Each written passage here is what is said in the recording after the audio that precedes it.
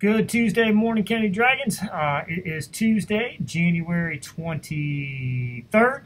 It is the 112th day of school, and we are continuing with our uh, Black History Month. Today, our Spirit Day is uh, HBCU or uh, College Day. Your uh, favorite college T-shirt or shirt um, is what you're supposed to be wearing, or your favorite HBCU, historically black college, wear that attire, uh, what you're supposed to be wearing today. Of course, I am doing this the day before, so I don't have it, but I will. When you when you see me today, I'll be wearing some Ohio State stuff because that's my favorite college. All right. Also on this day in Black History, 1868, on February 23rd, 1868, W.E.B. William Edwards Du Bois was uh, born. He's a writer, an activist, and he's also the first African American to earn a doctorate degree from Harvard University. He was a writer. And the interesting thing is, his writings and where he went to college inspired our next person who, on this date in 1965, Constance Baker Motley, she was also a civil rights attorney, read a lot of what W.E.B. Du Bois wrote. She was elected Manhattan Borough President, which is kind of like the mayor of Manhattan. Uh, she later became the, uh, the first black woman elected as a New York state senator. So on this day 1965, she was the named president of the Manhattan Borough. Uh, so this is what has happened on this date in history, February 23rd. Here we go. It's now time for our pledges and our moment of silence.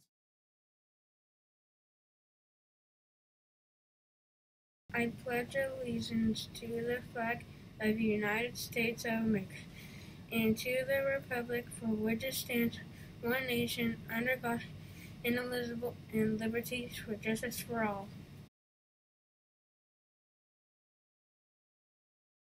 I pledge myself as a Kennedy Dragon to ready for the day ahead of me.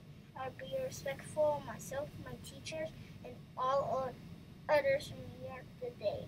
And I'm responsible for myself, my actions, and my learning. I work my hardest to be the best dragon I can be. Awesome job. Please take a moment to reflect silently on our day, our activities, and what we hope to accomplish. All right, now that we've done our pledges and we've done our moment of silence, it's time to model what good hand washing looks like. Like I said yesterday, our numbers are coming down. We're almost below 25 cases per 100,000. And it's because we've been doing a good job, but we can't stop doing a good job. We got to keep doing it. We got to make sure that we're doing our four things each and every day that'll help slow down the spread of germs and viruses. First one, wear a mask. Make sure you're wearing it over your nose and over your mouth. Second one, make sure you keep your social distance. Make sure that you're not able to touch the people around you and not in each other's faces. Give some distance between each other. The third one, if you're sick, stay home. Don't come to school if you're sick. And the fourth one, wash these hands. These hands touch things and then they you touch them or put them toward your face and it spreads germs just like that. So we want to make sure we're keeping these clean.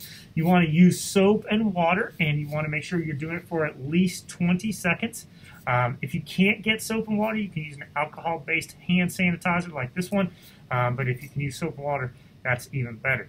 Make sure you're doing it frequently. That means definitely after you go to the bathroom, uh, before you eat, uh, definitely after you've touched anything uh, that someone else has touched, but you want to make sure that you're washing fronts, backs, tips, all of it for at least 20 seconds. When we do our hand washing, this is when we do our, um, our um, name that tune. Uh, and this is here we go. So let's get going right now.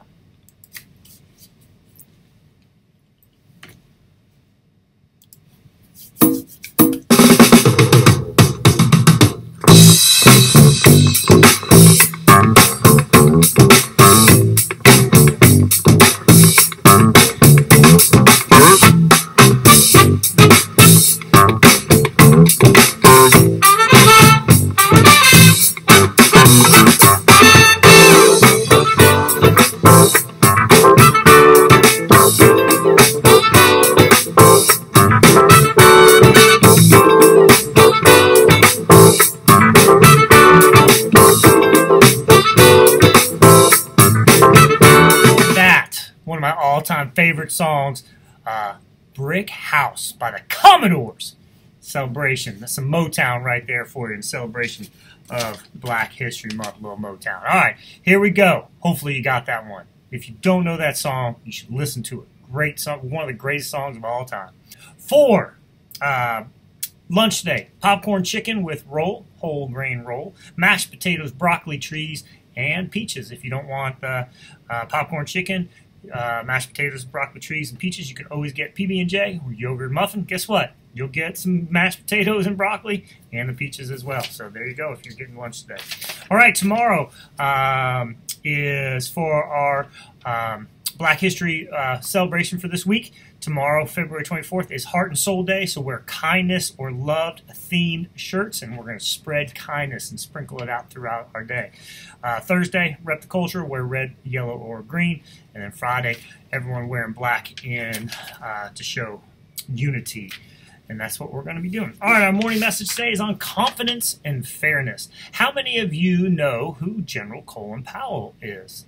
Maybe you've seen him on television or you've heard your parents talk about him. He was the Secretary of State for President George W. Bush, and he was one of the most powerful leaders in our country. Colin Powell is the success he is today because he always moved towards his goals with confidence. In other words, even when things were hard, even when people were unfair to him because he was an African American, General Powell always did the best job he could because he believed in himself and he was proud to be an American. So next time you feel you aren't good enough or smart enough, remember Colin Powell and do your very best you can. Ask for help if you need it. You can learn to believe in yourself and be the best that you can. With something to think about, I'm Mr. Butcher. Make today your masterpiece not. And that's true. You got to believe in yourself. Okay? It's super easy to say, ah, I can't do it and not even try. But if you don't try, you never know if you're going to be able to do it. And the more you try, the better you're going to be. And the more you try and the better you be, the more you're going to achieve. Okay? Sometimes we just say we can't do it because we don't even want to try because we're fair, we're scared that we're going to fail. And guess what? You might fail, but guess what? It's no big deal. You just get back up and try again and try again and try again until you get it. All right, that's all the announcements I have for today. Please help me, Mr. Newport, your teachers, keep you safe. Um, if you're a digital student, uh, your parents help them keep you safe.